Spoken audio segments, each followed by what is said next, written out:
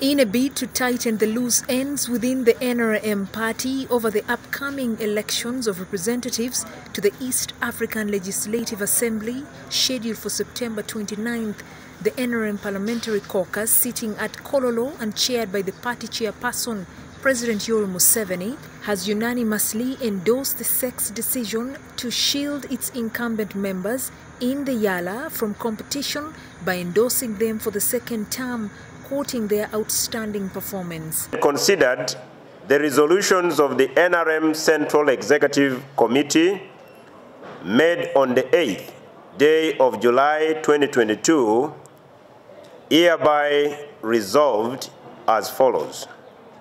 One, that the incumbent East African Legislative Assembly members be maintained in recognition of their exceptional performance to continue their tenure for another term as members of the East African Legislative Assembly. The six, including Dennis Namara, Rose Akol, Paul Musamali, James Kakoza, George Udon, and Mary Mugyenyi, are now waiting to be nominated by the party next week as nominations are starting on September 19.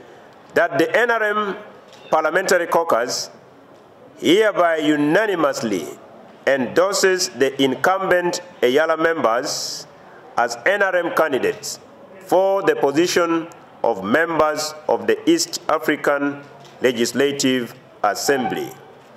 And they are Honorable Akol Rose Okullu, Honorable Kakoza James, Honorable Mary Mugyenyi, Honorable Musamali Paul, Honorable Namara Dennis, Honorable Odongo George Stephen. While addressing the press conference at Parliament after the caucus meeting, the government chief whip, who doubles as the NRM caucus chairperson, Dennis Hamson Obua, disclosed that on the two positions ring-fenced for the opposition, the party chairperson, President Yoweri Museveni, has asked them to pick any candidate from the three political parties DP, JEEMA, or the UPC?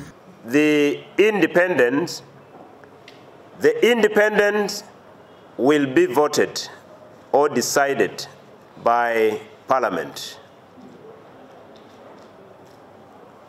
On the question of the other political parties, it is public knowledge that um, under the IPOD, there is some minimum cooperation with uh, some political parties.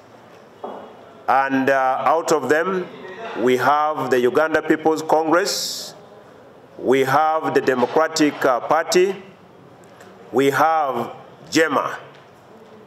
And all these three parties have candidates. We believe that members of the National Resistance Movement arising from our minimum cooperation, our minimum association with these political parties will be able to choose the representatives of uh, the other shades of opinion from within the three.